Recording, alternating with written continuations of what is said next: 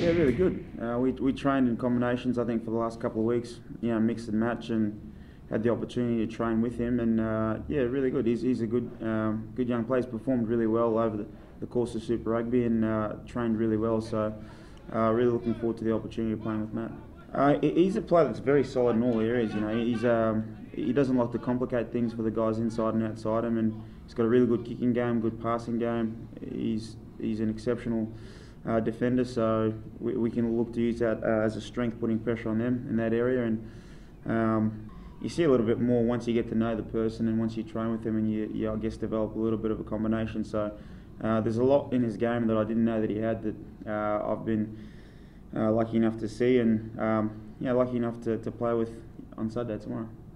I think Ewen said it the other day. When's the when, whenever is the right time to debut? I mean, guys just have to be ready when they're given the opportunity, and they either take it or they don't. And I think, as I said before, he's he's had he's had an exceptional season with the Brumbies, and he's full of confidence, and uh, he's ready to take on the challenge. So um, it doesn't change my role in any way. I have every confidence in him, and uh, I guess all the other guys out there wearing the jersey.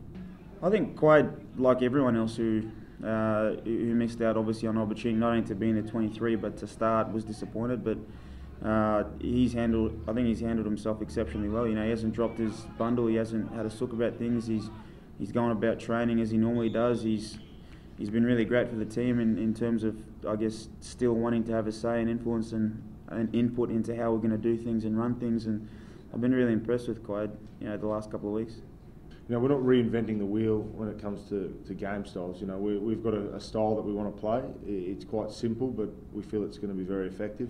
Um, and you know, it, it's a it's a work in progress, and we, we want it, our game style to be able to build on week on week on week, and, and bring different things to the table each week. And that's something that uh, Ewen's certainly been big on, and we've got a, a specific idea to how to play this this game this week and we'll have a look at how it goes. And then next week we might change a few things to, to you know, once we see obviously the All Blacks, I'm expecting has some new stuff that they uh, they haven't shown in, in the, the June International. So that's uh, that's another challenge for us. So you know we've got to get out there and, and play footy.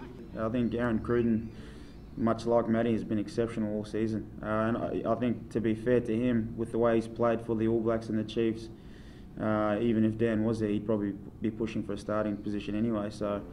Um, they're, they're, they're, they're an exceptional team and um, he'll just fit in and do his job accordingly.